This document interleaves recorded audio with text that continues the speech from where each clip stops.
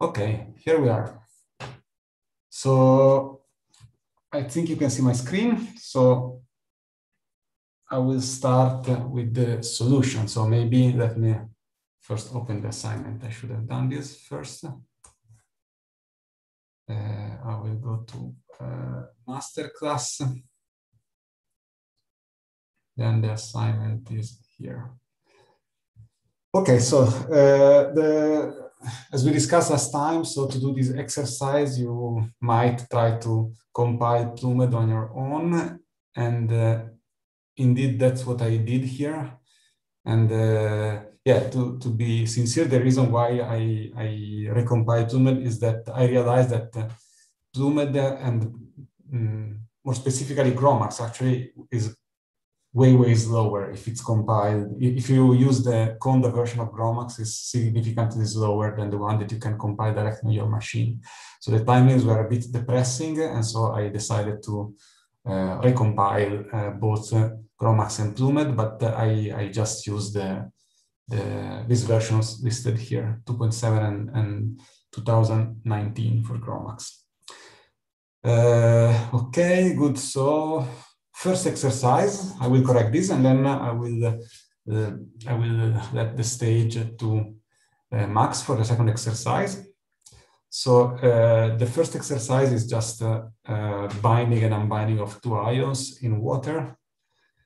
And uh, you were supposed to start with this input file and then try to find a way to make it run faster. So let me go to the solution notebook I already uploaded this on, on the web, so on GitHub, so you should be able to find it there and uh, even to, you can also download it now if you prefer, or you can follow me here. And maybe, maybe I will change the font here. Okay, great. Unfortunately, this is not uh, interactive notebook because uh, I run it on my workstation. And now uh, I cannot connect to it uh, with VPN, otherwise it, it, doesn't work well with, with Zoom. So I will not be able to run other commands here, but uh, uh hopefully I can, yeah, at least show you what I did and uh, uh, discuss your comments. okay, this is as I did in some previous exercise. I have some tool to run commands, and then I wrote this simple script that just extracts the final part of the mdlog file so that uh, I can use it to monitor performances basically and to see them in the notebooks. So, and here this is just to check that my executables are working correctly. And uh, yeah, that, that's just where I installed Plumed on my machine. So it's not so important. You can do it in many different ways. So this is compiled using an Intel compiler and uh, CUDA as well. So these simulations are done including the GPU. This is, this is a kind of old workstation, is maybe six or seven years old. It has uh, 12 physical cores uh, with the possibility to have 24 threads, up to 24 threads with hyper threading and uh, a gaming GPU that I bought when I bought the workstation. Okay, good. So first exercise, so we will first try to optimize the settings for the meta-D action. So this is the input file that I took from the tutorial. And here I was running it just for a few thousand steps, uh, just to see the performance. And then with this script, I can extract the final part of the input file. Let me make it wider so that, okay, we can see all the columns. Great, so uh, you see with these settings, it's the, the provided input file. We run at 160 nanoseconds per day. Uh, and this is the breakdown of the performance of the uh, computational cost for each of the uh, of the comments in the Plumed input file, as, as you have seen as we have seen last time. So you see that the most expensive part is the calculation of this coordination number. And uh, this is to have an idea of the observed range of variables. I'm just showing the value of the distance observed in the simulation. It's in this range, and the value of, value of the coordination number, it's in this range here. So I initially did this to have an idea of which would have been a reasonable boundary for a grid. You have seen, I think, already with Max that uh, it's uh, useful to use a grid when you run metadynamics. And uh, the point is, especially as your simulation becomes longer, because if you don't use a grid, what will happen is that at every iteration, the, uh, the code will have to make a loop over all the deposited hills. So basically the cost, the simulation will become slower and slower as the number of deposited hills grows. That's very inefficient. Uh, but typically you don't see this at the beginning of the simulation. So uh, yeah, maybe this test is not very significant. I was lazy. Maybe the, the best way to do a test like this one is to try with a restart with many hills so that you can really see that uh, without using grid, it's slow. Uh, but still, I know that this should be done. So I, I decided to do it anyway. So uh, I set up my grid here. Uh, I use values that you see one is ranging between zero and four, one between uh, four and eight. Uh, it's exaggerated with respect to the ranges uh, explored here. So what uh, happens in practice uh, is that uh, if the simulation goes out of these boundaries, it stops. And so, yeah, you have to choose them carefully and maybe exaggerate a bit to avoid being surprised that uh, the simulation that uh, was maybe in the queue in the cluster for one week uh, then crashed because of a mistake here. Can I add a, can I add a comment, Giovanni? Yeah, of course. Because often they ask, uh, how can I choose the dimension of the grid? For some collective variables, the definition itself of a collective variable gives you gives you the minimum and maximum values that the variable can assume. For example, a sum of cosines over the dihedrals, or in this case, the coordination between a group of atoms. By by the looking at the dimension of group A and group B, you can uh, already tell what is the minimum va uh, value that this variable can assume or the maximum value variable. For for for many CVs, you can know a priori. Sorry. Uh, yeah, th thanks, Max. Actually, a uh, further comment is that uh, if variables have a fixed range, like dihedral angles, I think, uh, if I remember correctly, whatever you put here will be uh, overridden by the correct range, which is minus pi, pi. Uh, or maybe you will receive an error, I don't remember now. Anyway, you should use that range. what Max said about coordination is true. On the other hand, in this specific case, so the second group uh, is made of a few thousand atoms, but clearly it's not possible that all the water oxygens are in contact with the uh, uh, sodium uh, ion here. So clearly you need to know something to have an order of magnitude. And uh, here that yeah, you see that in this preliminary run, it explores more or less this range. So I think the truth is that uh, is that I tried with a narrower range, and then in one of the later tests, I received a mistake, and then I went back and run it again. Usually, it's not too difficult. Another parameter that uh, sometimes you find in input files is the pace of the grid. I would recommend not even to put it because uh, it's chosen automatically based on the value of sigma. And uh, and so uh, you you should tweak with that only if you are really in extreme cases where your grid has too many points that do not fit in the memory. And so you want to try to make it coarser but uh, there is some risk in doing that. So don't do it unless you know exactly what you're doing. Uh, okay let's look at the performance. It's actually even worse than before it's 154 you can also try to look at the individual steps. So let's see, for instance, the calculation of metadynamics. Metadynamics, I didn't give it a name, so but it's actually number seven here. So here it was 0.1. Let's see how much is it here. It's 0.07. So you see that uh, this calculation became a bit faster. Uh, it's not so important here, and indeed it doesn't lead to any advantage, but it uh, will lead to a very big advantage when your simulation becomes uh, longer and you have uh, a few hundreds or even thousands of Gaussians accumulated. So definitely you should use grids. Uh, okay, so uh, I, I, think, again, I don't think this test is convincing you that it's a good idea to use grid, but believe me, it is a good idea to use grids. Another thing that uh, we can realize here is that the pace was set to something very small. It was uh, pace was 10 and, and height was very low, like 0.1. This is 0.1 kjoule per mole. So it's a very small fraction of kBT. So usually it's not uh, uh, necessary to have hills that are much, much smaller than kBT. So a fraction of kBT is, is okay, usually. Uh, and so these hills uh, here are too small. It's not a problem, but clearly we can obtain a similar result by increasing pace and height simultaneously. So for instance, if I multiply pace by 10 and height by 10, I expect to obtain a very similar trajectory.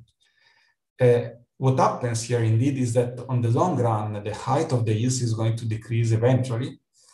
Uh, and, uh, uh and so the, as you decrease them, because you multiply them by this factor that is part of the well-tempered metadynamics formalism, the height will become much smaller than this. And uh, only the rate between these two numbers will, will matter in the end. So it, it's totally fine to just uh, change one of them and by changing also the other by the same factor. And uh, when I do this, there is a little gain. And uh, I think this is due to the fact that I update my grid potential less often. It's not a big uh, impact actually.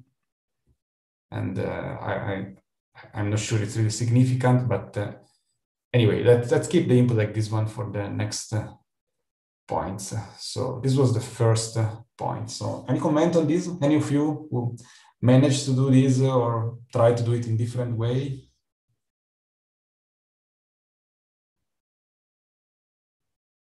Maybe Oliver was the one doing it. So if you want to say something. Uh, yeah, I think I got a similar result, but I just multiplied by a smaller factor than 10, both of oh. them. So okay, it's fine. Yeah, I've seen that the impact is not so much here, so probably it's not so useful this optimization in this case. And maybe it could it would matter more if you have a three-dimensional grid, because in that case the cost of uh, adding hills will be larger. And uh, there was another comment, maybe.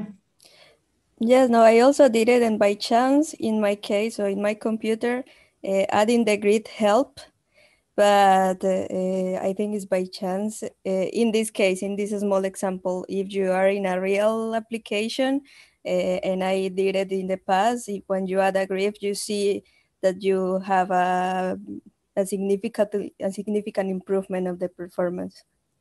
Yeah, yeah. Also in this application, you will get a significant improvement, but you have to run it longer. The point is that it's not that the, that the system is simple. The point is that this simulation is too short to see the effect. Okay, so uh, it, maybe you did your test with a larger number of steps. That's why on your machine you have seen the effect of uh, grids. Uh, yes, sure. And it, it totally makes sense that uh, for a longer simulation you sh should see it. We, we will see in the in the second exercise what happened when you restart with a hundred, two hundred thousand uh, Gaussian with or without grid. Uh, what is the impact? And it's dramatic. You will see it in uh, 30 minutes or so. Yeah, Max did it in the right uh, way to explain you. Whereas what I did is I, I just did it uh, as I know it should be done, but uh, yeah, maybe it's not very convincing. You will be convinced by Max. Okay, good. So other comments on the first point? Otherwise, I will go to the second one. So the first point was uh, optimizing the calculation of this metadynamics action. The second point will be optimize the calculation of the coordination number that you see it's actually the most expensive part uh, in, in, in the zoomed calculation. Okay, so uh, in order to optimize this the calculation of these coordination variables, uh, the, the most efficient thing that you can do is to use neighbor lists. You have to, however, be very careful when you use neighbor lists because it's very easy to do mistakes. Unfortunately, we don't have any automatic way to set the parameters, so you really have to do careful checks. So the first thing that you should do uh, so the, the, the, goal here is to have an alternative way to evaluate a variable that is identical to what uh, you would obtain without using neighbor lists. So the coordination number as we defined it so far with this definition here cannot be computed with neighbor lists formally because it's a long range. So this coordination number is a switching function that is different from zero, even if you go at very large distance. So there's no way to say that uh, water molecules that are far from the ion do not uh, matter in this calculation. So the first thing that you have to do is to modify this function and make it uh, shorter ranged. So to do so, you should set this dmax variable here that basically uh, what it does is it says that uh, any pairs at a distance larger than this will contribute exactly zero to the coordination number. So uh, here I made the test using different values of dmax. So you see, I'm not changing R0. Changing R0 would change the definition of the variable significantly. Changing dmax hopefully doesn't, provided that, this, that the max is, uh, uh, is significantly larger than uh, R0. And then everything else uh, uh, should be the same as, as before. And then here I write a new file called test where I print my reference coordination number, the one computed without dmax. And then I tried here four different choices with the uh, growing value of, of dmax. And clearly now this calculation is not anymore significant for timing because I'm computing coordination many times, but I can check at the timing of uh, each of these lines. So what I, what I expect is that, uh, okay, actually here there is no neighbor list, so they, they should still cost more or less the same. So let's see what happens. So the performance you see is poorer, but that's just because I'm uh, I'm um, uh, uh, I'm computing the coordination number more than once. So so timings are comparable. Actually, it's slightly faster than without using this dmax. Uh, I think this is happening because uh, what Plumed does is first it compares the distance with the cutoff, the max here. And if it's larger, it stops there. If it's smaller, it does some further calculation. And so this allows for a little saving, but that's not really the critical saving now. Uh, the, the thing that we want to see here is not the difference in performance that uh, is very small, but the thing that we want to see is the difference in the value of the calculated coordination number. So uh, I'm reading this test file here and uh, plotting it. I'm just plotting here in the horizontal axis, I have the true coordination number, the one computed with the original definition, this one, Cn.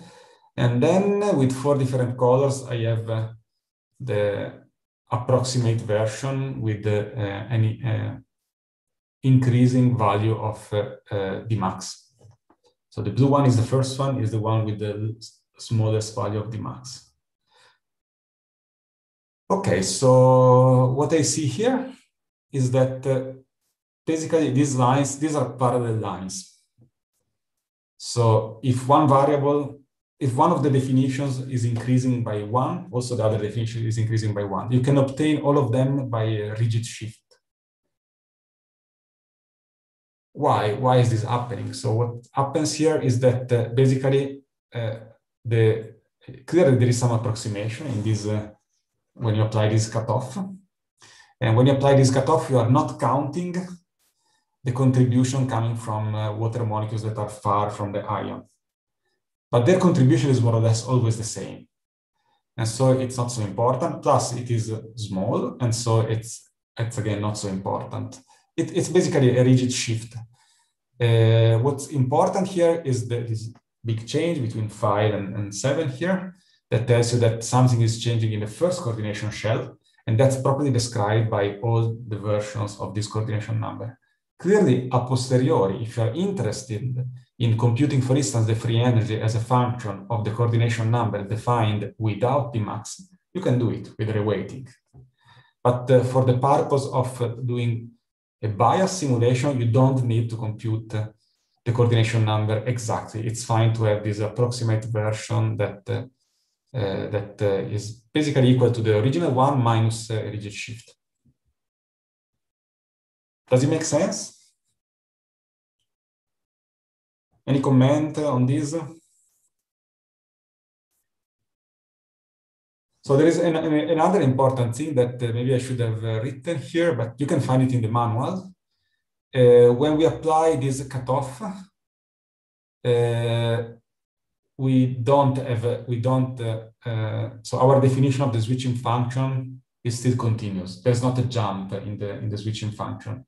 Having a jump in the switching function would be very dangerous because then the derivative would be infinite in one point and you would not be able to correctly compute uh, free energy changes through that variable.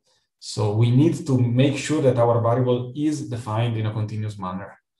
And uh, uh, it is irrespective of the value of the max. So if you choose it very small, basically there will be some reshaping of the function that you can see in the, it's explained in the manual that will make it uh, continuous. So any comment? Giovanni. Yeah. Uh, the, my question is uh, this, what you said about the collective variable to be approximated in order to make the bias. Uh, this is valid for every, for each collective value uh, uh, I choose. Yeah. So in general, so one problem that you have when you when you want to use enhanced sampling methods is that uh, you typically need to compute your collective variables at every step. Max will show you how to compute them maybe every second step but uh, clearly you have to compute them very frequently. Whereas typically for analysis, you compute them rarely, let's say every one, 100 steps, 1000 steps.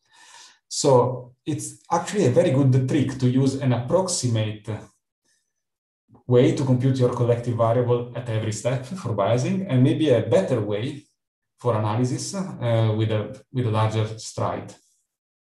Okay, that's a, it's a, it's a common strategy. And if you want, this is the simplest possible example of using that strategy. You could uh, really have uh, use it, you, you, could push it further and say, I don't know, you want to compute the, the gyration radius of a molecule, you approximate it using only a few atoms, and then you recompute it using all the atoms. Or you want to compute RMSD, you use it uh, with a few atoms, and then include more atoms in the analysis. You, you can do a lot of stuff. Uh, Okay, good. So uh, now we are happy with the, uh, we, see that all, all of them, they work basically. So I will pick the smallest value, 0.75, because now I have to, now I will add the neighbor list. So now, uh, so you see, this first step was done with through an approximation. I wanted just to make sure that this approximation is not affecting too much the forces that I will add, add to my system. So these lines are parallel. Now I will Uh, uh, I will add the neighbor list and I want to do it without making any approximation. I want to obtain exactly the same result that I was obtaining without the neighbor list. So I will now take as a reference the coordination computed using my Dmax equal to 0.75. And then I have many variants of the coordination, again in the same input file, computed with neighbor list with different cutoffs for the neighbor list and different stride for the neighbor list. So the different cutoff tells how many pairs are included in the calculation of the neighbor list. The different stride tells how frequently are we recomputing the neighbor list. Uh, I decided to do it in a grid in this way, but clearly you can, if you have more time to spend on this, you can do it better. You can do finer grids and try to be more accurate in this estimation. So uh, I tried basically two values for the cutoff. Uh, they should be larger than the max because if they are equal to the max, uh, basically you will uh, you will lose some pairs in, in, the, in the counting. And the, the, larger they are with respect to the max, the larger the stride you will be able to use without introducing mistakes. So then I, I tried an array of strides. So this stride 200 means that basically I'm going to, uh, every 200 steps, I'm going to decide who are the water molecules that are neighbors of the sodium ion based on a cutoff of uh, 8 angstrom or 10 angstrom in this case. And, that's and then at every calculation, only water molecules that are within 7.5 angstrom will actually matter. Okay, uh, again, the performance here is not so important, the overall performance, but we can compare the performance of each individual variable. You see the most expensive implementation is the, the full one. But you see that even with a small stride, this is stride five, you have a significant gain. Here it's a factor seven, more or less. And then, okay, maybe the numbering of these variables was not so is not so happy. So Coordination number seven is the one with the shortest stride and cutoff one. Seven is this one. So clearly you see that the performance is improving as you increase the stride. But then if you use a larger cutoff, it becomes worse because basically you are including more putative neighbors for your sodium, so you are sodium ions, so you are exploiting uh, less the, the advantage of the neighbor list. Okay, so now we will have uh, this six, this group of six ways to compute the coordination with the increasing stride and another six ways to compute the coordination with the increasing strides. And, and I will compare the value. And again, I, I just write them on a file called test. And I read it here. You have a table. If you look at the table, it looks like all the columns are identical, but clearly you should not only check this. You can should check this for every single frame in your simulation. And here you see I'm plotting the difference with respect to the reference coordination number. So it's like the approximate coordination number minus the reference one. You see the difference is always negative. Why? Because my switching function is always positive. And when I do a mistake because uh, the neighbor list was not up to date, potential energy function will be non-conservative. It's like having a jump in the definition of the energy. So I really do not want this to happen. And so I will make sure that uh, this is exactly zero. So this is the first six with the cutoff 0.8. And this is the second group with cutoff uh, 1, 1.0. So here what I picked for the next runs is coordination number two. So here I'm plotting also the standard deviation of this line just to make sure that it's always zero. And uh, I picked definition number two uh, with definition number two, uh, which is this one. So cutoff 0.8 uh, uh, and then stride equal to 10. And the reason for this choice is that uh, all the implementations with the uh, cutoff equal to one were slower. And uh, if I were using a larger stride, I was obtaining some time, even very rarely, but I don't care, some missing pairs. So I wanted to make sure that uh, I'm including all pairs in the calculation. And then you see also that the, so this was CN2 that I'm picking, picking this one. So you see it's like 10 times faster than the original variant. And the advantage of uh, increasing even more the, the stride is not so much. So I think it's not worth the risk. Okay, whereas all these cases here were slower. I, I would say one of these uh, would have been probably a good, very good choice anyway. Okay, any comment on this? Any of you managed to do this or try or maybe obtain different parameters?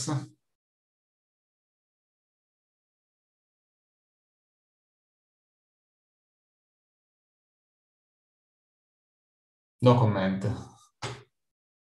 Oh, so how many of you managed to try different values for coordination?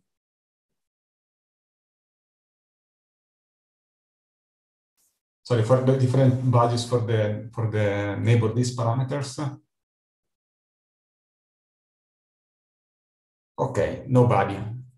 Okay, now hopefully looking at this, you, you should know how to do it. Uh, but you will see in point 1D that uh, uh, actually this was not so useful. Okay, next point, optimizing the number of cores. This is very much depending on Excuse on... me. Ah, yes. So the rational switching function that is being used here. Yeah the function by definition has a point at which uh, it is undefined, right? Suppose uh, at points where Rij minus D is equal to R naught, the rational switching function uh, by definition becomes uh, undefined. I, I've always wondered how uh, Plumed takes care of it. Okay, good. so uh, there, there's one thing that I think is um, originating from a very misleading notation that has been used traditionally for these switching functions. Let me search the manual. Yes, so you see that here, uh, so uh, can, can, you see my screen? I think you, you, can see this expression. This is the, the expression you are referring to, right? So you have yes, yes.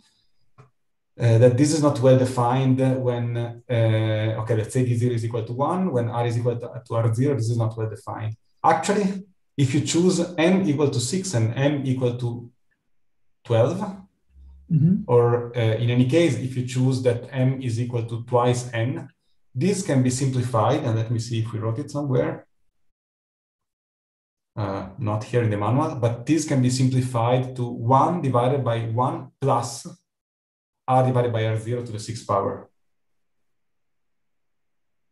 Okay, so that's what Plumed does. If m is equal to twice n, it's actually faster to directly compute 1 divided by 1 plus r divided by r0 to the sixth power. Okay, the, the, reason to do this is, is not just to avoid the discontinuity, but is to make the calculation faster first.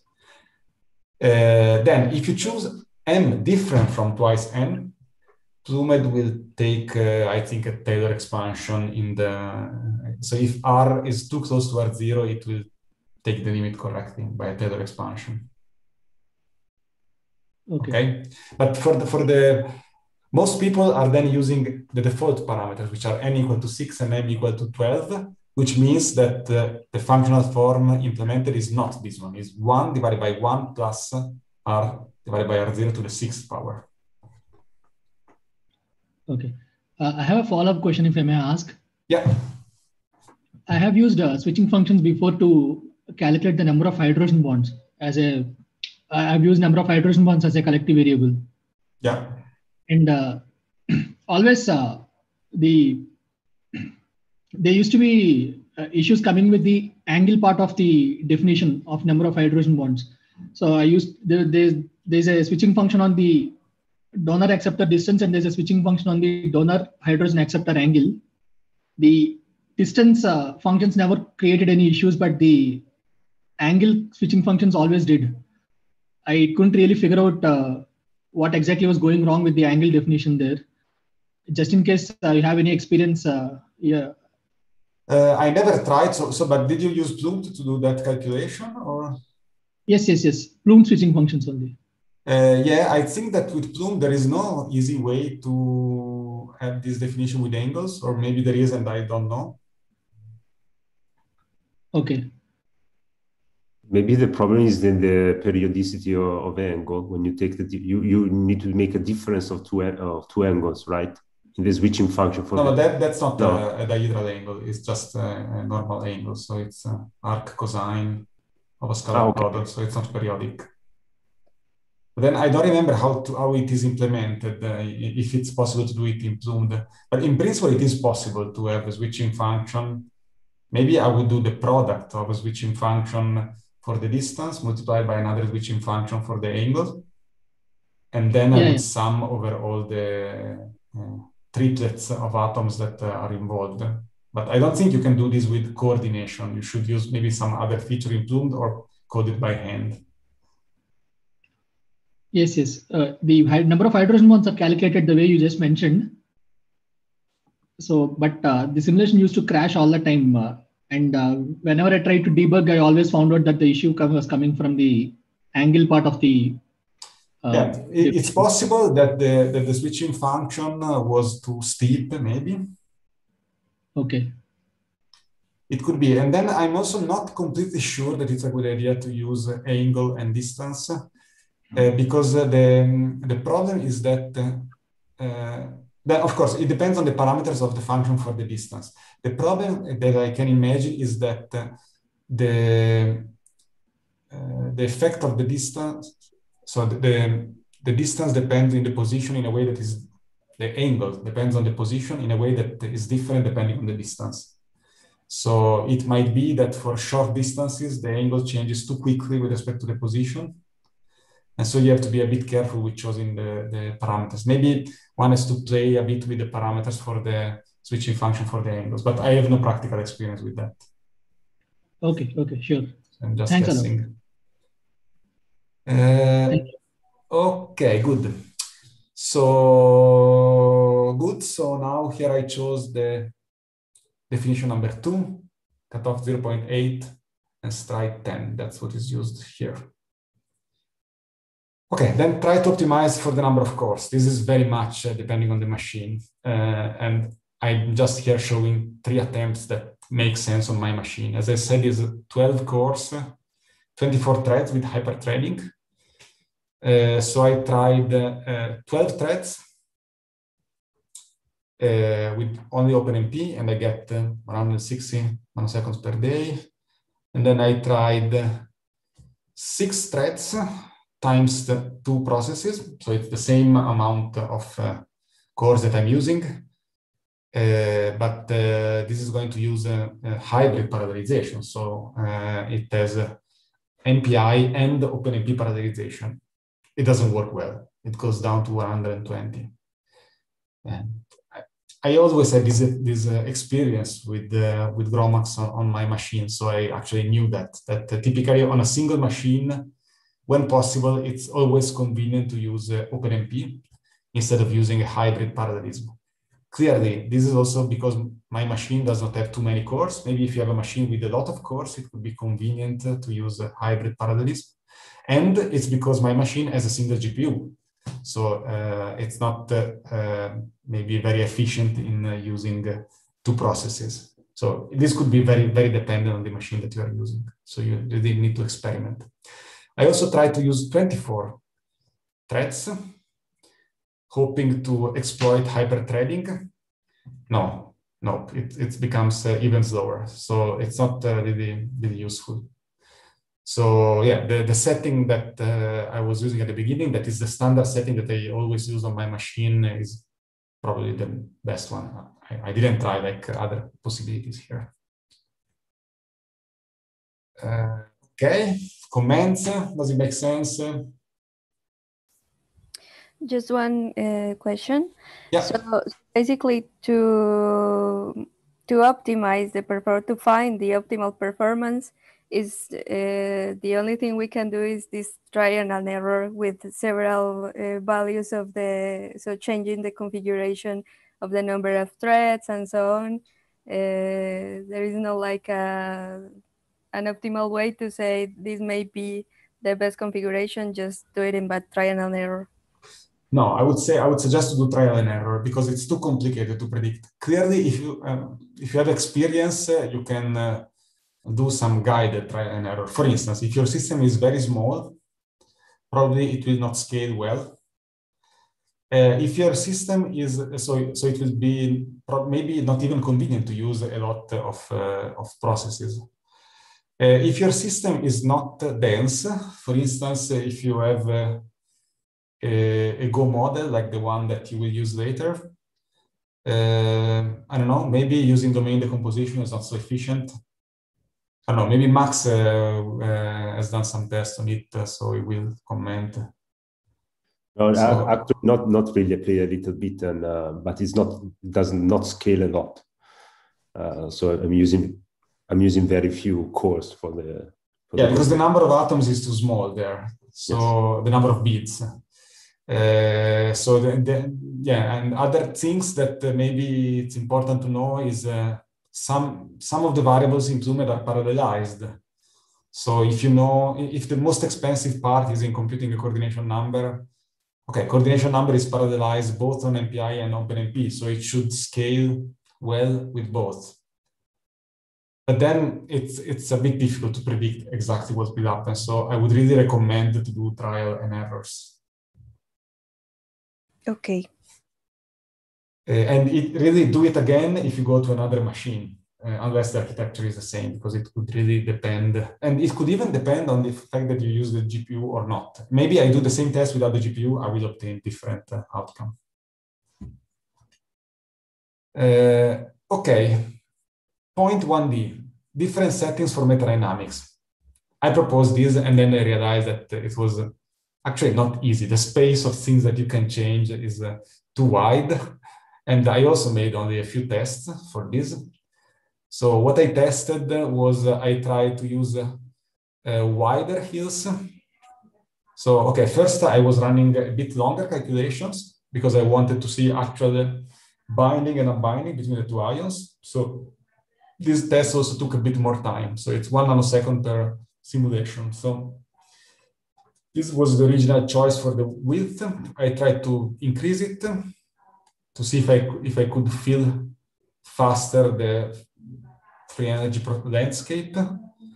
And then I look at the free energy that I obtain. They are actually, this is just, these are already projected on one direction, which is the distance between the two ions.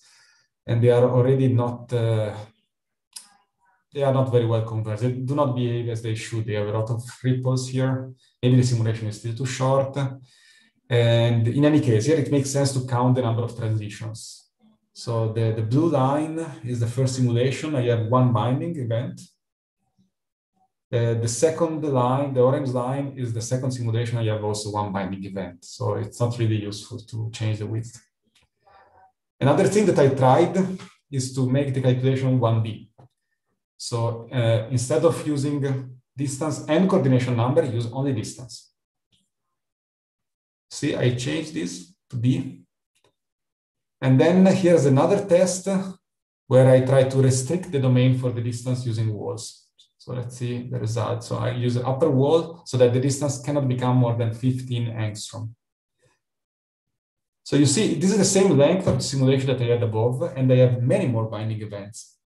So in the blue line, I already have maybe one, two, three binding events. So this is better than using two variables. So that actually means that using the coordination number is useless in this system. I was thinking about this example because uh, I, I, made, I have some experience in the past with calculation of uh, magnesium, with magnesium, where really you have to break its coordination with water in order to make it bind something directly. But that this is not happening for sodium. So sodium is too easy. On the other hand, I made some tests with magnesium before proposing this exercise, and you needed simulations that were too long. And so I prefer to make the tests using sodium. Uh, so that means that for this system, sodium binds so weakly to water that it's not really necessary to enhance the, the rupture of the first coordination shell. So coordination number, the, the, the, best way to optimize the coordination number calculation here is to not computing at all. Uh, okay, so, and then you see that uh, in the orange line, if I restrict the domain to only the shorter distances, I have many more binding events. As expected, there is a, an entropic barrier to, to cross. I have to spend time exploring this region uh, whereas if I put the wall at 1.5, I will not spend the time. So this region is not so interesting. We will see that the free energy is, is flat there, so it, there's nothing to learn. And uh, again, even without computing errors, we know that the more events I have, the smaller the error will be. Let me show you the, the free energy profiles that I obtained. Uh, now they kind of make sense. So the, the again, there are a lot of ripples, so maybe I should make it uh, longer. Then, so the first two lines, so the, sorry, the first two lines, so the, the, I think the blue and the orange are from the calculation without the walls. The blue one is the free energy obtained with sum_hills. The orange is the free energy obtained with sum_hills plus this entropic correction. So what we know is that if two particles are not interacting when they are at a large distance, or they are interacting very weakly, in this case, they would be interacting with the Coulomb interaction, but uh, screened by the presence of water, so it's not so strong. Then the free energy as a function of the distance should not become flat, but should actually decrease as minus 2 kBt logarithm of the distance. That means that if I add plus 2 kbt times the logarithm of the distance, uh, the free energy should become flat. And you see that uh, eh, it's not really flat, but uh, the orange line looks more flat than the blue line. It looks like the blue line is still going a bit down. We will see this better in a more converged simulation, but it, it, it makes sense. And you see the same effect if you look at the calculation with the wall. So in the calculation with the wall, basically you obtain the same profile here, uh, but uh, uh it, it stops at 1.5. So here the system never explores this region here. Then in, in the simulation, which is not restrained, you see that anyway, at 2.5, the free energy is going to increase. That's because of boundary boundary conditions. Okay, so it's less likely that the ions get at a distance which is larger than this because the distance will be computed with the minimum image convention. Uh, and it's actually, it's a waste of time to explore this region here. It's better to restrain the system so that uh, the two ions are always close to each other. Questions, comments on this? Does it make sense? Uh, one question. Yeah. Uh, I mean, from from one point, it might seem like that when you put the restraint at 1.5, then it seems kind of converged. But when you put the restraint at, at larger values, then it seems that the actual place for convergence is around 2, uh, 2 2.5. Do you know what I mean? Yeah, the, I, I think, so I didn't try, maybe one should run longer the, the blue simulation, but uh, I think that this here, thing here, is just an artifact, it's just a statistical error. So the fact that you see this fluctuation here, it's because the blue simulation is less statistically accurate than the green one. Does it make sense? Uh, yes, yes, of course. No, but I mean, a priori, you cannot actually know that, right? It, I, I mean, you could run this this screening at 1.5, 2, 2.5, 3, so on and so forth, and then it may seem like that you need actually a quite large uh, conformational space for actually defining an unbinding region. Okay, that, that's true. Uh, but uh, indeed, the check that I will do later with a more converse simulation is that uh, here I really see something flat. So the fact that here I have something flat, plus the fact that my understanding is that these two objects should not interact anymore when they are far from each other, uh, allows me to basically extrapolate and say that even though I not compute the energy, I don't compute the energy here, I assume it's still flat at the same value as here. So in nomine Patris et Filii et Spiritus Sancti. Uh, no, uh, this is not a problematic system at all because I have only these two objects. Clearly, it could be more difficult if, for instance, you have a ligand binding on a protein and it could bind somewhere else when the distance increases. So you have to be very careful. Okay. okay? Thank you. But uh, typically, it's sufficient to uh, you can also observe your simulation, uh, just watch with VMD and see when the ion is at that distance. Is it always non-interacting? when the ion is at, at two nanometers from the site where uh, you would like it to bind, is it always non-interacting? If so, yes. If uh, so, then so who cares about something that? Okay, and then quantitatively you can check if the profile is flat. It's difficult to say that this is flat because still the simulation is too short, but we will see in the longer simulation. Okay, thank you. Uh, another thing that I tried now, and this is really the order in which I did things, is I, I, I realized that perhaps the, the initial uh, uh, width was too large. I just chose it by eye, and I tried now to decrease the his width to half of it, and uh, uh, I see more transitions. So I, I, will, I would, in the end, I picked this as a setting for the, my longer simulation. I don't think it's a dramatic impact, but uh, anyway, to me, this looked like the, the best setting I could uh, obtain. Okay, so you see here, I'm not basically anymore using the coordination number. I'm just printing it, uh, but I'm not even showing it, so it's useless. Okay, here I have many transitions in this time that is, uh, it's, uh, if I remember correctly, it's, uh, yeah, it's one nanosecond. Now I will run the simulation 10 times longer.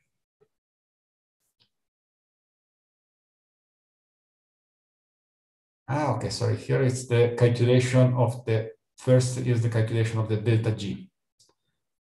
How to compute the standard binding free energy. So the standard binding free energy is defined as uh, minus kBt times the logarithm of uh, the probability of the system to be bound divided by the probability of the system to be unbound. But then for the unbound state, you have to take into account how much is the available volume. Because you see that the bound state uh, has always the same volume, whereas the volume of the unbound state depends, depends on the site of your box. So in order to normalize it, uh, it's conventional to divide it by uh, uh, so divided the, this probability by the volume of the unbound state, but in order to make the units correct, it's, it's conventional to divide this by this uh, uh, V0, which is basically the volume corresponding to one mole concentration. So that's the, the standard definition of, uh, of uh, binding free energy. And clearly, this definition depends on something arbitrary, which is the Avogadro number. And and the definition of liter. So basically it's just uh, uh, one liter divided by the Avogadro number uh, expressed in nanometers, which is 1.66 in nanometer to the third power, sorry, cube nanometer. Okay, so what I do to compute delta G is I compute the probability of the system to be bound. This is just uh, the sum over the integral of, of the free energy up to a value equal to d bound, which I set to 0.4 here.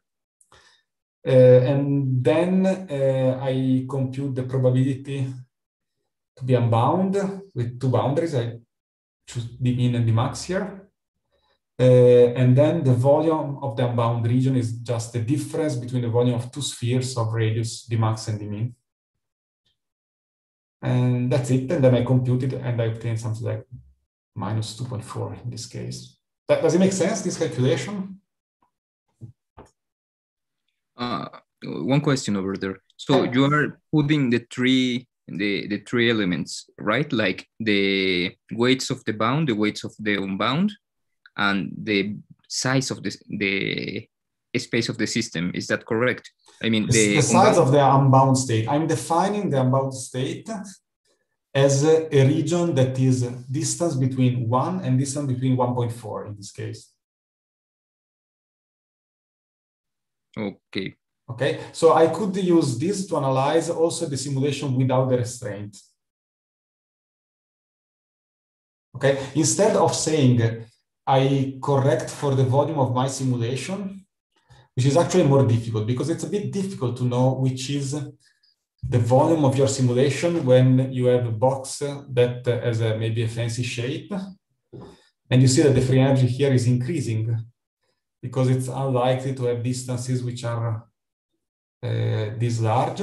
So uh, the easiest way is to cut a spherical shape so that it's easy to compute its volume. Okay, uh, one could have equivalently maybe set, let's say, the max equal to infinite and then take the volume of the box maybe here. Maybe it's fine, but you have to compute the volume of the box correctly. And then it would not work if you have an upper wall. Okay, if you do the calculation without the upper wall, you should be able to replace this part with the volume of the box. If you do the calculation with an upper wall, actually approximately you are restraining the two uh, the, the distance vector to be within a sphere of radius 1.5 nanometers. Uh, and so uh, that's the natural choice for the unbound state. But here i'm you see i'm saying it's unbound only when the distance is smaller than 1.4 it's not even equal to 1.5 okay it's not necessarily equal. I just need to cut the portion here that is flat enough for me to be associated to the unbound state. Does it make sense?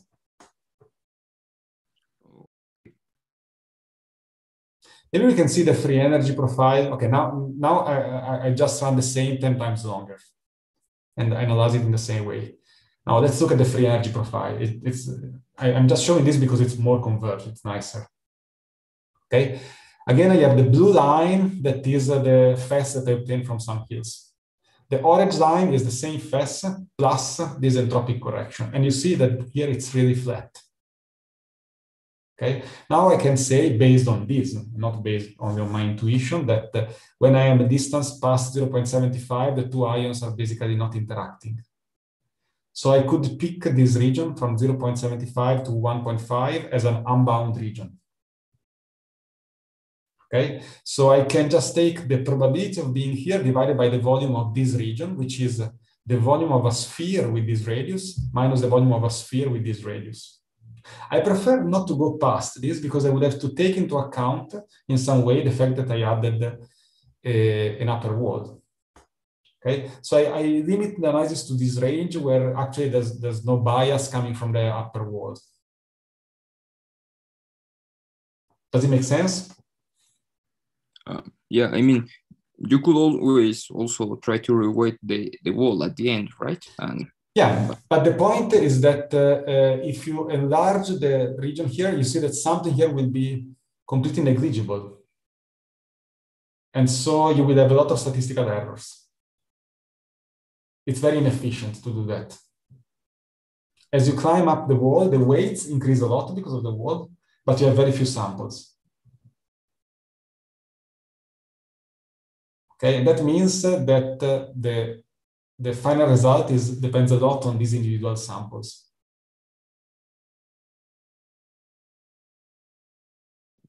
Okay. Okay. Then of course you need to be in a condition such that you can define this flat region. Otherwise you cannot do this. It could be more complicated if you have if you are for instance looking at binding of ions on a on a bigger molecule, bigger than another ion, let's say, and uh, maybe with some complicated shape. So, but it's possible to use tricks to define, well, regions that can be considered as bulk. And you always have to make sure that uh, they are, the, the particle, the, the atom there are, is really behaving as a, the ion is really behaving as an ion in the bulk. So the free energy in this case is flat. Okay, then this was just a dummy check to check if this was depending uh, on, on the choice of the mean. It was not uh, very much depending, but uh, yeah, these numbers are, are similar to each other. Okay, uh, let me go to the final point that the computing error, statistical error for this. So uh, first, instead of, so this was like quick calculation that I did uh, just uh, post-processing my yields uh, with sum_hills and so on. But uh, in the end, I always try to compute the final numbers using reweighting because to me it's more uh, reliable. Sum_hills sometimes introduce some uh, artifact due to the tails of the Gaussians that are a bit difficult to detect. And so I prefer to just use reweighting. Uh, here what I did, uh, I reweight, I, I read the hills file as if it was a trajectory file in order to know the value of the collective variable that were visited. You have seen this already in some other exercise. And then I compute the bias from meta D, and I also compute the bias from the walls, but uh, uh, it's actually not necessary. See, it's always zero, except when you are above distance 1.5, that uh, is not interesting here. Uh, so I just uh, recompute this as usual with a large weight, height zero, just to compute the bias. And uh, I read it here. Uh, and then here I have time series, distance, and bias. And uh, I assign a weight equal to the exponential of the bias divided by kBt. And then I compute delta G using this time series of distances now I'm using the actual distance and not the histogram of the distance evaluated with this sort of kernel density that uh, is a sum of Gaussians that you do with metadynamics. So uh, this is really the, the, the, distance, and this is the weight computed from the exponential of the potential. And it's the same calculation as above. And uh, I obtain a value here, which is significantly smaller actually, because this calculation is, I would say, is much more trustable than the one above. It's much longer, and there is this this thing that is uh, more reliable of doing reweighting rather than using some hills. And then I did the block bootstraps. Bootstrap, uh, I just uh, divided my trajectory in 10 blocks. I didn't make full check for, for uh, how many blocks are needed, but uh, you might remember we have a lot of binding events, so this should not be a problem. So I use 10 blocks, and then I use Bootstrap to pick with, uh, to extract 10 blocks from the 10 blocks, and to recompute the standard free energy of binding with uh, different subsets of the trajectory. And uh, this is the average that I obtained, very close to the value obtained from the full entire trajectory. And this is the error. So that means that the final value is, is something very small uh, with an error that is actually bigger than the value itself. So the standard binding free energy here is very close to zero. Actually, the, the value zero for a standard binding free energy has no particular physical meaning because it arbitrarily depends on our definition of the molar volume for the for the normalization. Uh, but uh, but still, yeah, it, this means that my standard binding free energy it's likely between I don't know minus 0.4 uh, and uh, plus 0.2 kjoule per mole. And that's it. Questions, comments?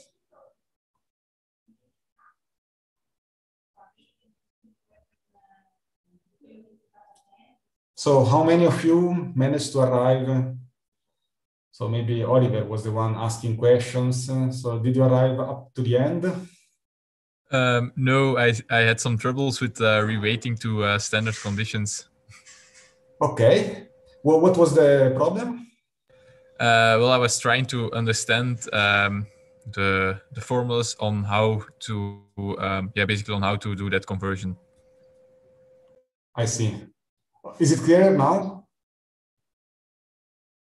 Um, it's a bit clear, but still not fully clear. but I think I have some uh, reading to do as well.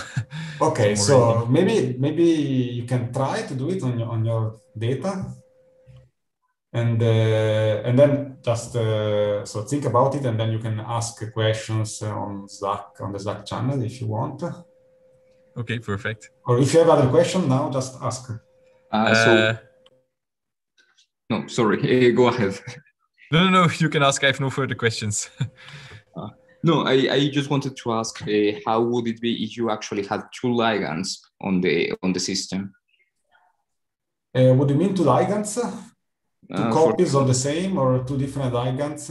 Uh, for example, one uh, one in the, in this case, let's say that you have two ions in that yeah. case.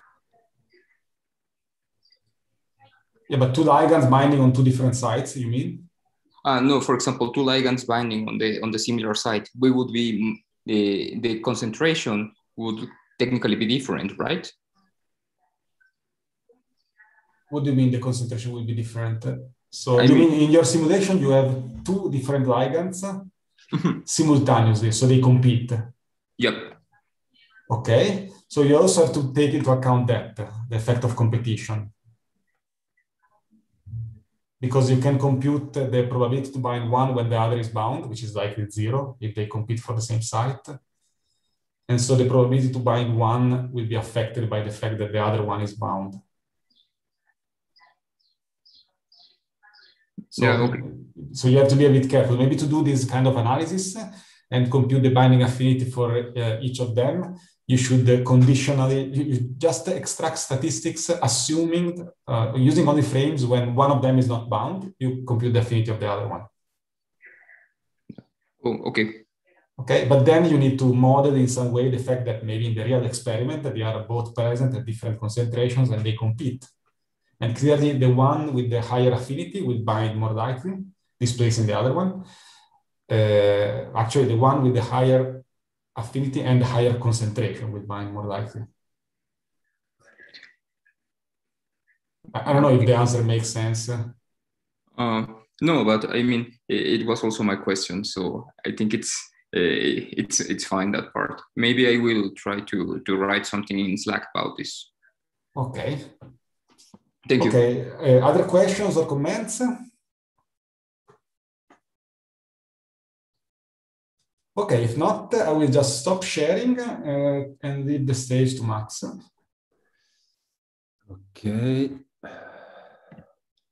Can you see my screen? Yes. Perfect. Okay, so we move to exercise two now. Did you, uh, anybody try to solve it or completed it? Nobody.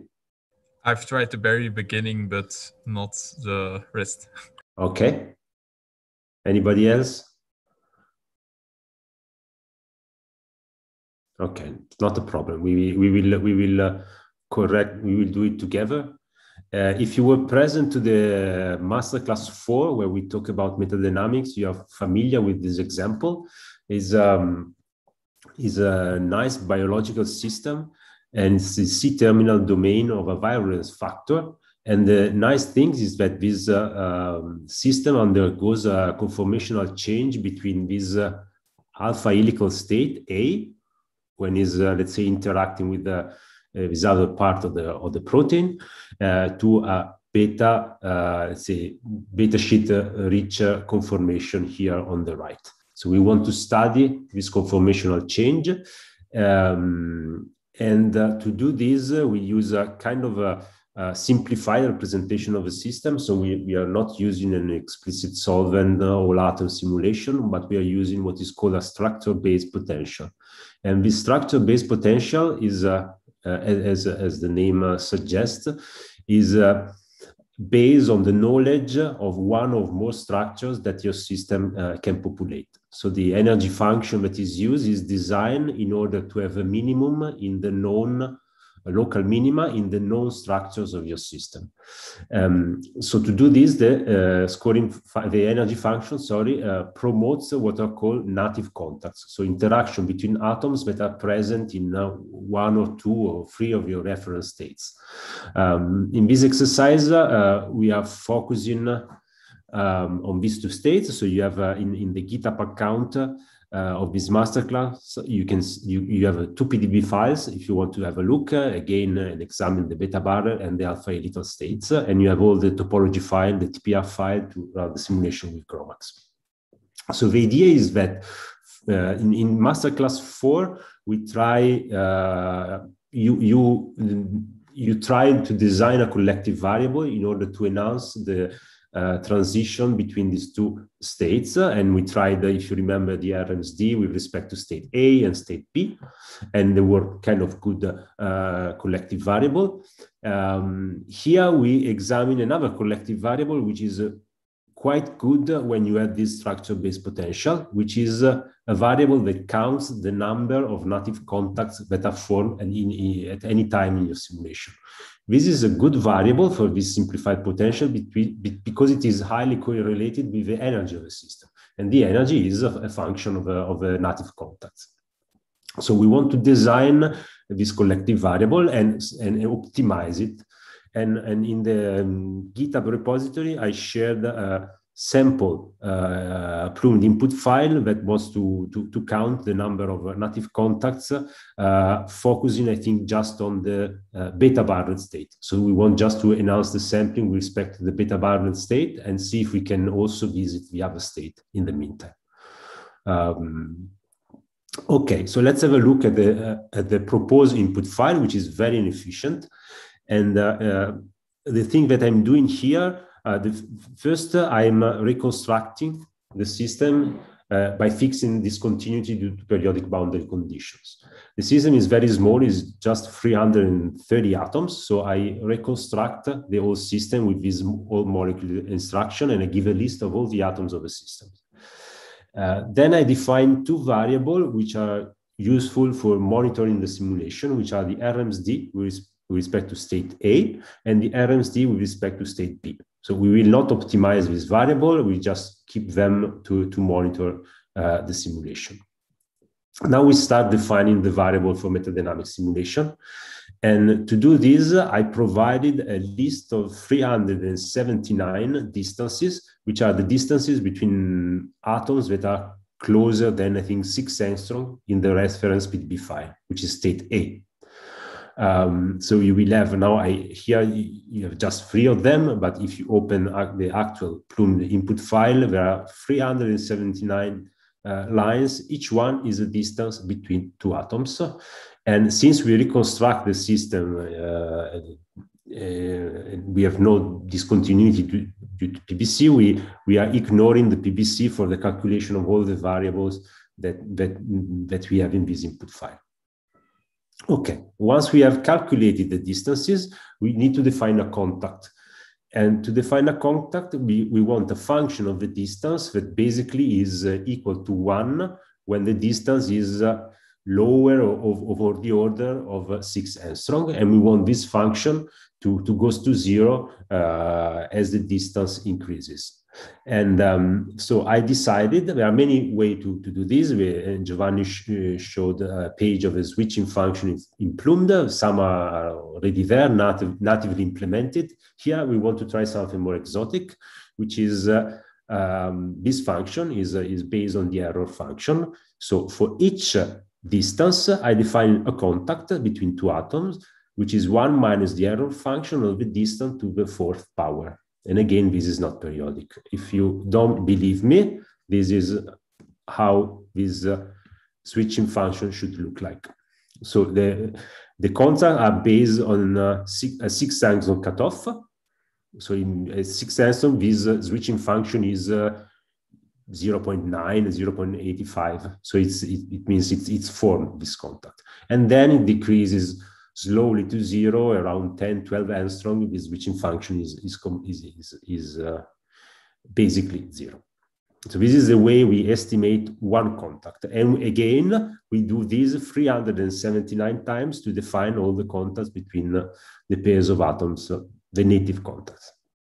Then what we need to do is to sum all these uh, uh, contribution to define the total number of native contacts. And to do this, there is a, um, there is a, an action in Plumed which is called combine, but may, basically it allows you any polynomial expression uh, of a predefined collective variable. Here you have, uh, let's say, if, if you look at the manual, there are other, so this is the functional form, and uh, what you can specify is uh, um, a prefactor and, uh, and the exponent. And by default, the prefactor is one and the exponent is one. So if you just define a list of, uh, for example, here of collective variable, what uh, combine does is just to sum them. This is the default behavior, but you can change it by assigning different powers, so different p or different uh, coefficients.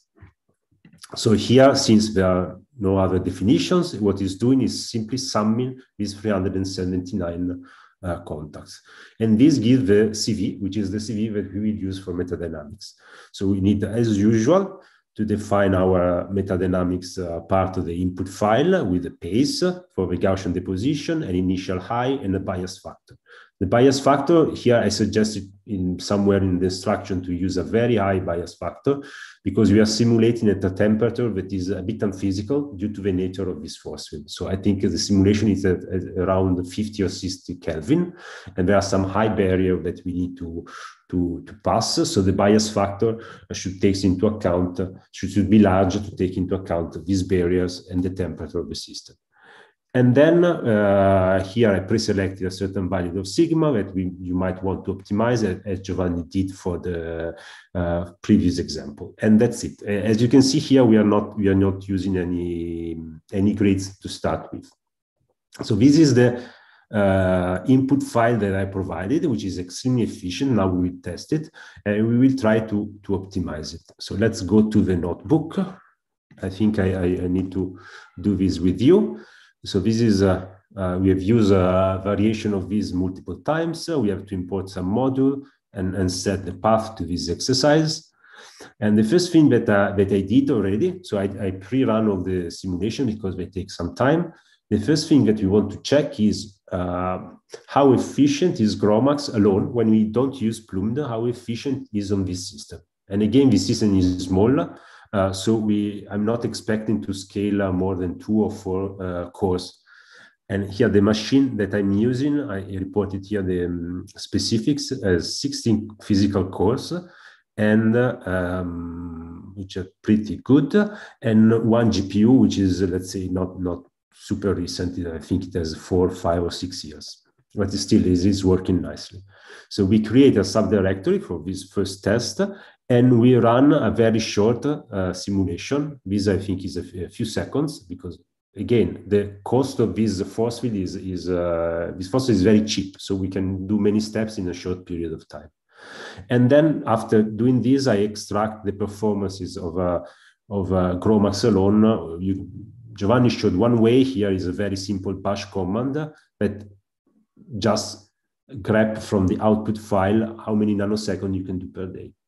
So as you can see, you can do almost 800 nanoseconds per day, which is a good thing on one side. This, but it's uh, it's less good is if you think now we have to add uh, define some collective variable, do metadynamics. So since the force field is so cheap, there is a chance that the the, the cost of Plumed is very high, and, and this happens from time to time. Okay, so we, we measure the performance of GROMACS alone, and now I take this uh, very inefficient input file and I try to measure the decrease in performances when I use this input file. So basically, I, I, I, I pasted this input file in, in this file plumed.dat that you will find in the GitHub anyway. And I, I do exactly the same thing for, for, uh, for the same length. And then let's say I will give you just the end of the file. As you can see now, we pass from 700 and more nanoseconds to 15 nanoseconds per day. So the impact of Plumed is pretty dramatic to calculate this uh, uh, collective variable. And you can see here, this is the simplified uh, breakdown of, uh, of the cost, but there's not much more that we are doing apart from the RMSD calculation, but this is done every, I think, 500 steps. Yes, so every 500 steps, I'm also calculating the RMSD. What might cost a little bit uh, is uh, this action, which is all molecules. So we have to reconstruct the system and this is an expense that we are not monitoring uh, for the moment. You can do if you if you print out the detailed timing, you can also identify what is the cost of uh, or the whole molecule action. But for the moment, we focus just on the uh, how to optimize this collective variable. Okay, so let's proceed. So nobody tried to, to write an optimized version of this variable, if I understood correctly. So do you have any idea how we can do this in a more efficient way? Using the coordination function. Okay. And how can I, because here I specified a, a specific function, how can I do this with coordination? I think in the coordination, you can also choose which which switching function you want to use. Even if it's not defined in uh, native in Plumed? there are uh, one can define custom switching function. Perfect. This is what we will uh, use. Uh, and this simplifies a lot the input file, but, instead of writing 1000 lines, we, we write uh, very fewer lines and it's also more efficient. So here, what I wrote, so we still need to reconstruct the molecule and we still want to calculate the RMSD, but then we substitute this long list of distances and, and, uh, and individual contact with just one variable, which is a coordination. And uh, this is slightly different with respect to what Giovanni did. So Giovanni specified two groups of atoms, and then the coordination is one group with respect to all the atoms of the other group. Here we define what is called, uh, we add an option, which is called pair, which means it's just considered uh, the corresponding atoms in this list. For example, only atom 1 and 110 uh, will be uh, considered as neighbor. And, and the switching function will be calculated between only these two atoms. And 1 and 115 1 and 122 so this is really the what i did is very simple. I just take the first atoms of each distances here and i and i put it here as group a. This is one way to do it. And then the second atoms becomes group B. So they are, they, I, am keeping the, the, let's say the um, correspondence between the two atoms because I'm using this pair option. So it's not calculating all against all coordination. Is it clear this point? Hopefully, yes. Yes. Perfect. And then I, as you said, I can define a switching function, which is basically whatever I want. So it's a custom function, and I, I, I exactly use the definition that uh, that I use in the non-optimized version of the, the input file. So for the moment, this is uh, not really interesting. This R0 because it's not used anymore, but I think it's needed somehow. Okay, so this should be formally identical to the function that uh, um, uh, I'm using in the other uh, non-optimized file, but we will check this, of course. So there is a, a nice thing of Plumed that, uh, of course, it, it implements, it, you can use whatever you want as a, as a functional form, and automatically you will have derivatives with respect to this functional form. And uh, uh, so this part is uh, basically should be okay. And then I think I'm not uh, changing parameters here of the metadynamics, it's still without any grid and uh, with uh, this value that I propose for sigma. The only thing that I want to do here is uh, do a quick uh, run and, and check if we improved something in the calculation of the, in the performances. So let's do this. So this was pre-calculated.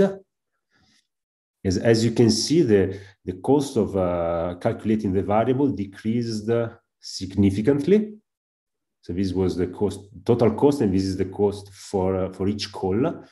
And so we are we are improving by by order of magnitude. And the total uh, simulation time increased from 50 nanoseconds to 317. So this is a huge gain in using this uh, um, this uh, formulation of exactly the same collective variable but we want to check this. So what I did is something very, very simple. These are two independent runs that at a certain point they will diverge, but hopefully the, uh, what we check is the first frame.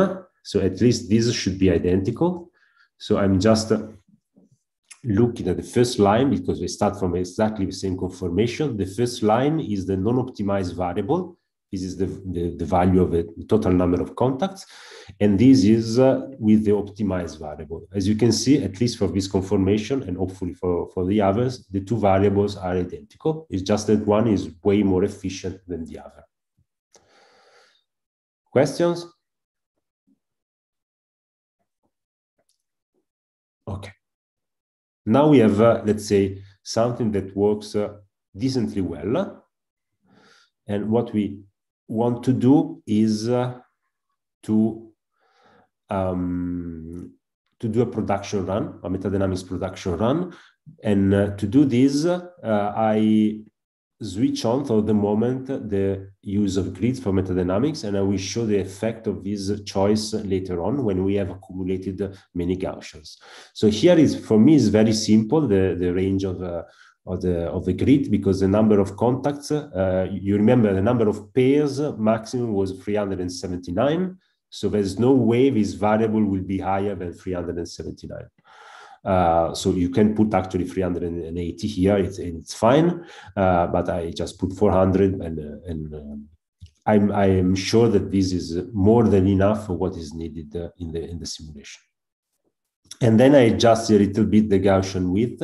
And this is, uh, again, trials and error, but the, even the initial choice were, were fine.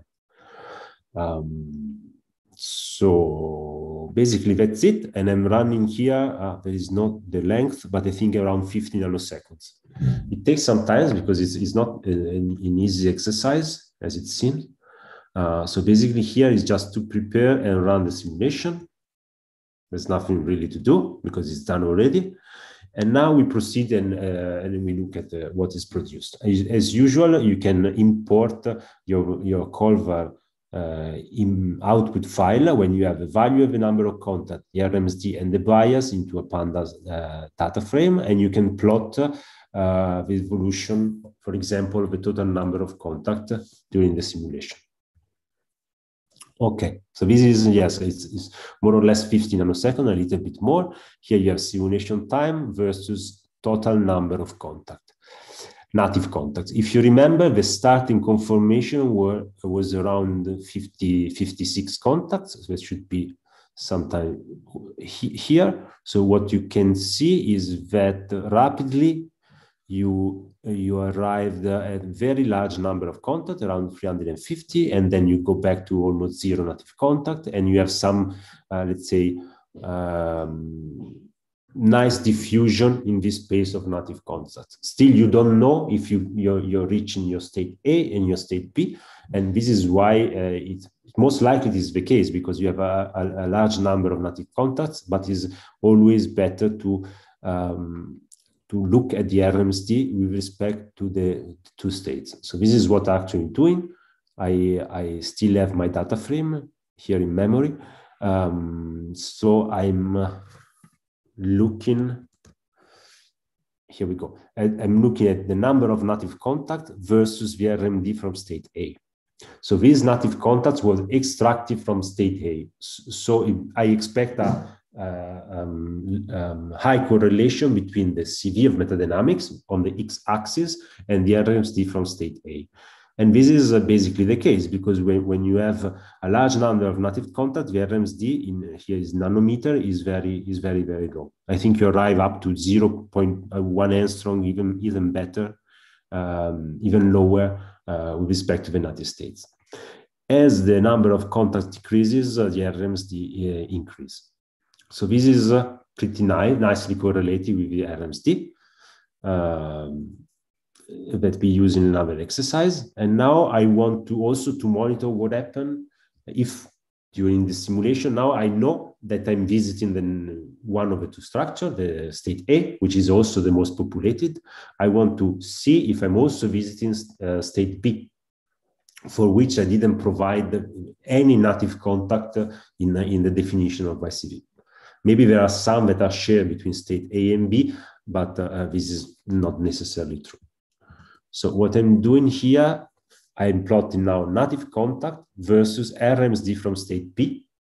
As you can see, when you have a large number of native contacts, you are very far uh, away from state B, you are 10 angstrom RMSD, but there is a point where you are form when you have formed around 50, 60 uh, native contacts that you are close to state B. So indeed, there are some contacts that are shared between state A and state B, and the uh, we are able also to, to explore and to reach state B. And, and uh, ju just we keep in mind that state B in this variable, in this CV, is located around uh, 60 or 70 uh, native contacts. Is it clear what, I'm, what we are doing? Okay. Yep. Perfect. So this seems to be a good variable. It's not. It's able to to to push the system repeatedly from state A uh, to visit state A. Uh, now we want to check more quantitatively, um, as we have done in, in other exercises, uh, the uh, meta the convergence of the metadynamic simulation. And the first thing that I want to check is the estimate of the free energy. And here we used uh, the Gaussian that we have deposited during the simulation. And if you remember, the first thing to check is your estimate of the free energy as a function of the simulation time. So I'm using the sum_hills command, and I'm, uh, in, let's say, printing an estimate of the free energy every 10,000 uh, Gaussian, and I'm aligning all the profiles to add the minimum values to zero. And this is convenient for visualization. This was quick. Uh, so now I have, I think, around, let's see, 20, 20, 22 files. I'm printing just the end, so it's clearer. The last few profiles. At, uh, so you see you have a total of 220,000 Gaussian deposited, but you see that toward the end, these profiles are not significantly changing. You have a, uh, the, the minimum uh, at a large value of native contact. So this is uh, your state A, and we knew that it was more, more populated than the other state.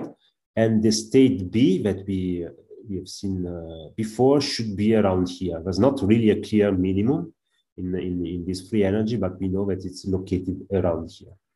So this is nice. I think I, if this were a real application, I would, I would uh, stop my simulation and start a more um, a more accurate analysis of the error in the free energy and the convergence. And we have done this multiple times. So I, I, I will go quickly here. And uh, as Giovanni said, it's, it's, it's the first thing to do is to calculate the meta the, the reweighting, to reweight the simulation to calculate the weight of each conformation. And we can do this by recycling the old plumed input file. I'm calling plumed reweight, but it's basically the same except for a few things.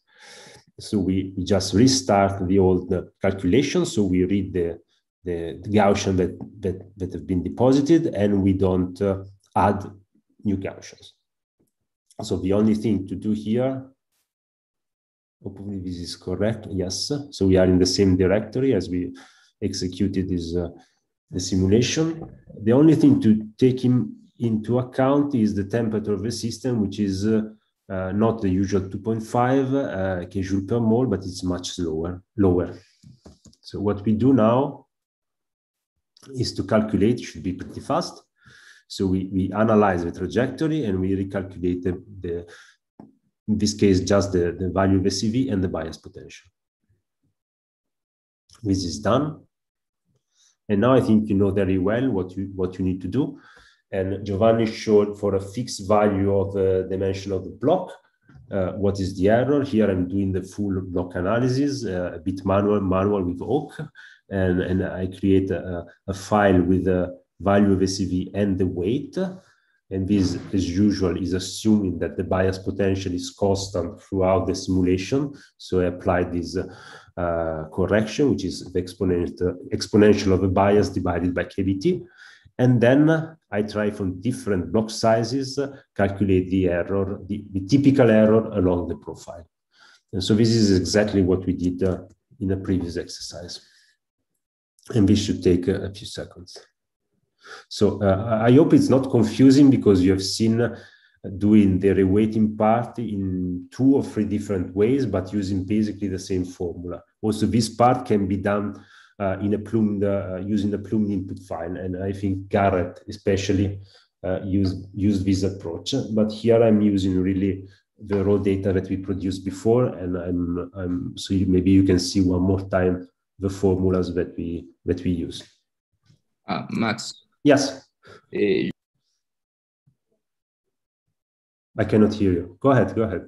You have to switch on the microphone. Yeah, it's done. So uh, just one question about it. So I was thinking, and when you are doing this uh, this coordination, this pairwise coordination stuff, you are using a CV that is a little bit uh, biased in the sense that you are forcing the system to follow one step.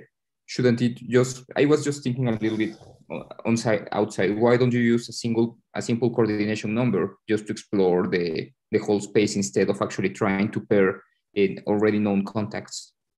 That can that can be done. Yes, I'm cheating a little bit because I'm using. We are cheating in any case because we are using a potential energy function which is based on the knowledge of the structure.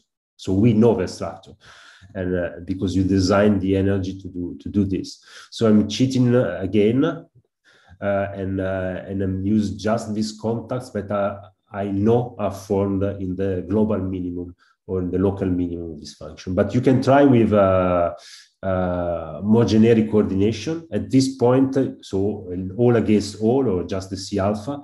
At this point, probably you will have uh, even more pairs and you, you have to use trick, the tricks that Giovanni showed you. So the neighbor listing and other optimization. Here you, you, have, uh, you have no neighbor list because you know exactly uh, what to look.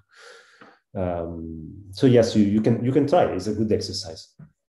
Okay, thank you. And about the error function, why did we choose that one? Because I mean, it was not implemented. Uh, because I like it. It was it's, it's uh, and it was not implemented natively in Plumed. So and the, the reason is that we used uh, to accelerate the calculation of this custom function. We use a library which is called uh, reported here, and I always forget the name. Uh, ASM JIT, so these allow to calculate efficiently this custom switching function. But it must be enabled during the um, compilation of Plumed. So you have to click here to see how to enable the use of this library, which makes calculation faster. What I, I, I will show you later is uh, the difference in performance if you use this library or not. Okay, thank you. You're welcome. So perfect. Uh, in the meantime, the error, the block analysis was finished. So uh, what we usually do is look at the error as a function of the block size. Maybe it's not perfectly converged, but you see that is is trying is basically reaching a, a, a, nice plateau and it start to be noisy. Uh, so we are not really very far from uh, from from convergence, and this gives also the average error along the one-dimensional free energy profile. This is exactly what we did in masterclass four. Uh, but this tells us also that this uh, um, simulation is converged. Um, so uh, what we what I what I would like to to show you now is the so we will converge to our simulation, then we will compare the results. And this simulation are run using what Giovanni introduced last week, which is the multiple time stepping. Uh, so instead of uh, calculating the uh, the force at every step of the simulation, we do this with a certain stride. And this, of course, introduce is an approximation, introduce some error. Uh, so we want to first try how much the performances are changing with this multiple time stepping and keep an eye on the error by monitoring uh, this uh, drift in ineffective energy, which is calculated by Klund. And Giovanni explained in the theoretical lecture how this uh, is, um, can be used to monitor if the choice of the stride is, is correct. So we will run two other very long simulation, I mean four or five hours each one, uh, one with a stride two, and we add this uh, line to uh, print on this Colvar Ene, Ene the uh, effective energy. So we, we will monitor its drift. And the second simulation, stride four, uh, same thing with stride four. So here I don't have to do anything. Basically, it's, already run. And here we will stride four. Okay, uh, the first thing that I would like to check is the um, performances with the original uh, metadynamic simulation with stride one and the, the, this new latest simulation. And I, I do this uh, with a simple grep command. So the first one is with stride one, and it's around 322, which is of the order of what we see before. It's just a longer simulation and with the grids. Uh, with stride two, there is a, a little gain in the performances it's not really dramatic, but there is a little gain. With stride four, I would say no, not at all. You're not gaining anything. So it seems already stride two could be a good compromise. But what we need to check, what we need to look at is the drift in this effective energy. And so, uh, and this is printed in this Colvar file. So I'm, I'm loading the two data sets, uh, data frame, and I'm plotting them together here. So as you can see, uh, the behavior is very different. In blue, you have a stride two, which seems to be a bit more well behaved than stride four, which is uh, kind of going, uh, it's not dramatic probably, and I don't have an absolute threshold to tell you this is good or this is not good drift, but uh, it's clearly uh, drifting more than, than the one with stride two. The thing that you we, we want to check is also at the end of the simulation, uh, at convergence, how different are the free energies? If you remember the slide from Giovanni, he showed the example of uh, uh, RNA, I don't remember, it was uh, the biochemical energy in RNA. Uh, and if you remember the free energy for different choices of a side, at a certain point they were, they were completely different. And so this is what we want to do now. And believe me that they are, for the moment, that they are all free converged we know that one is converged, but also the other uh, uh, two are converged. So I'm just comparing the final free energy, let's say at the end of the simulation, calculated from the metadynamics bias potential. So this will take one second. And what we will do is to uh, compare them. Do you have questions regarding the um, uh, multiple time stepping?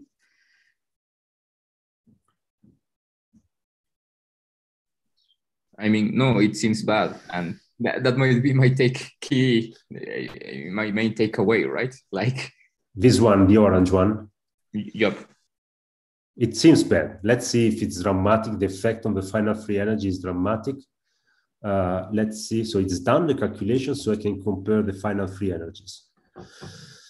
Okay, here we go. Uh, in blue is with, with stride one, in orange stride two, which is pretty similar with stride one, and stride four, I think, is clearly different from the other two. So there are two indications here. The stride four maybe is too much. The energy drift and the fact that free energy is, uh, deviates significantly from uh, um, from the other two. So I would say in normal application, probably you don't converge a full simulation um, before saying, well, let's choose stride one, and you just look at the, you run a preliminary simulation, you just look at the drift and how it changes with the stride. So I just to convince you that it's correct what we are finding, this is uh, from masterclass four, and we converged uh, the uh, two-dimensional metadynamic simulation using the RMSD from state A and the RMSD from state B as variable. And we found two minima. The most populated was state A, so this one. And then there was this little state here, which is actually uh, state B, the alpha helical state. And this was around 20 something kjoule per mole. So it's in the blue-green area here with respect to this. And this is more or less what we are finding here, because you remember the state B was located uh, at uh, around 50. So the difference between this one and this one, it's, it's of the, let's say, qualitatively the right uh, value. So green stride four is clearly wrong. And it's inconsistent with this previous simulation that you did. Okay, so this is nice. So at least we, we managed to converge with simulation. It took me five or six hours to run this, five hours maybe. Um, but it could have been much longer if I didn't use the grid. And I want to show you uh, how much longer would have been. So here, basically what I'm doing is I'm restarting a simulation. I'm using the optimized variable here. So here is only one line, but it's, it's the same variable. Exactly the same thing. I'm restarting the simulation and I read the Gaussian from our previous run, the one with the grids. So it accumulates 220,000 Gaussians. It reads all of them and then it, it continues the simulation without the grids. And I'm continuing this for, uh, uh, I think, one hour. And so we do this, it's done. And then we can compare the performances. Uh, and here I'm comparing free runs, and I will show you why. Okay. So the second, let's let's start from the sorry from the first one. The first one was our first test of uh, a few steps of, uh, of metadynamics without the grids. And it was okay, the performance. It was 317 nanoseconds. Then we did the second run, much longer, five, six hours with the grid. And the performance was pretty nice, 322 uh, nanoseconds. Using these two, these, the Gaussian deposited in the second run, we restarted the third run without the grid and you see that the performance are, are, um, are, are completely killed by, by reading and uh, this long list of Gaussian calculated 200,000 exponential uh, function at each MD time steps. So the, the first uh, timing show you that in the beginning, it doesn't matter if you use grids or not, because the performance are, are pretty good. But once you accumulate enough Gaussian, the using the grid makes a, a huge difference. Is it clear? And I think this is a is a very clear example that you need uh, proof that you need to use the grid. Questions? We are almost at the end. There are two little things to show you. Okay. The thing I was mentioning before is the calculation of this custom uh, switching function in the coordination is um, made efficient, a little bit efficient by the use of this library. So what I want to show you is how much is uh, this effect. So what you can do is uh, running, for example, the simulation with the grid, but disabling the use of this library. You can do it, you don't need to recompile the code. To, you need to compile the code to use the library, and it's explained here at the end of this, uh, here. So to make this lepton library, which is the one for custom switching function faster, you, you need, to enable this other library at the compilation stage. And this library is provided uh, since Plumed 2.6 uh, in inside Plumed, so you don't have to download uh, anything uh, new. You just need to enable it. And if you want to switch it off just to test during the simulation, you can uh, tell Plumed before running the simulation, which is exactly what I tried before, what I tried here. So, okay, switching off this uh, library, as you can see, the, the performances are, are, decreasing a little bit. So it's important also to, if you use this custom function, to enable uh, the ASM JIT library. Well, I think this is all the things that I, that I tried this week, and I kind of summarize it here. Uh, the first one is the performance of GROMACS alone, which is super efficient uh, the, um, on this system. Uh, the original input file that I provide is terrible. So you, you won't be able to, to do anything in one week and solve the exercise. So you need to optimize it uh, using coordination and custom functions. So you gain a little bit with stride uh, equal to two for metadynamics. Uh, not, not much, but it's worth uh, trying. Certainly you don't gain much with stride four and also you get around free energy. So no way to use it. The performance, if you don't use the grid, are really, really, really bad after a while, not in the beginning, but after a couple of hours of simulation already, the performances are, are terrible. And uh, also, if you don't use this uh, library to accelerate calculation of custom function, you, you lose a little bit. So just for fun, uh, all these, these custom switching function are defined in the Plumed input file and they use these libraries. Uh, I try to implement natively in C++ in the coordination, uh, let's say, uh, CV in Plumed, this specific switching function, the error function, to see if we can go even faster if we add a native implementation, uh, which is this uh, last uh, bar, the violet, and you gain a little bit. I think the performance is almost 400 nanoseconds per day, but still is, is it gives a lot of flexibility with custom function and the, the efficiency is, is, is pretty good. So this is done as far as exercise two is concerned. I have a question for you. I don't know if you noticed one thing in this bar plot. But still you're, you're, you're, you're losing a lot of performances with respect to GROMACS alone. And um, it, one, the, the thing that, that we are not monitoring are two.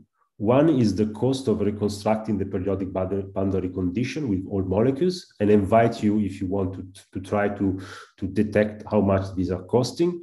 But also there is uh, one thing to, to take into account that there is uh, uh, some sharing of information between GROMACS and, and Plumed. And in this case, since the code is so efficient, this sharing of information, which are the position at every uh, step of the MD, might slow down the simulation um, a little bit. So even if we just ask for the position and we don't do much, that probably there will be a, a, a slowdown in the performances of uh, GROMACS, even if you don't calculate the coordination. Okay. So I think this is all for exercise two and for this uh, um, lecture. Let me switch off the screen sharing. And uh, if you want, I can uh, interrupt